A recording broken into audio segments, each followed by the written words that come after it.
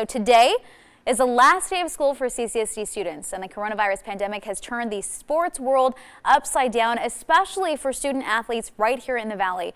13 Action News anchor Marissa Kinnison shows you how an area athlete's future in sports is now just one big question mark. Marissa? Yeah, Kalina, I talked with an athlete here at Bishop Gorman, but I think his story resonates with a lot of seniors all across the valley. He says he is trying to stay positive. For high school senior Braden Lamar, I've been playing basketball since I was, I would say, four or five years old. Playing college basketball has always been the dream. This year, senior year, was I'd say the most fun year of basketball in my life. But just as his season was ending, the spread of COVID 19 shut down the world. All across the country, the future of college sports now up in the air. The NCAA canceled March Madness and other winter and spring sports, leaving some colleges strapped for cash and forced to cut some of their programs.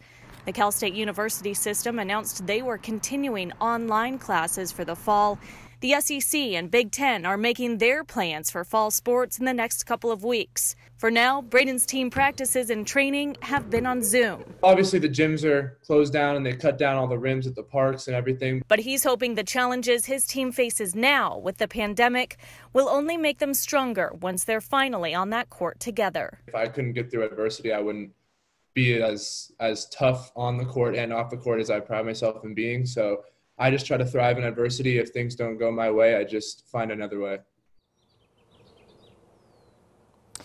Now, Bishop Gorman's graduation has been postponed to later this summer, so Braden uh, is hoping he'll be back uh, at college at that time, so he will miss graduation if that's the case. Kalina.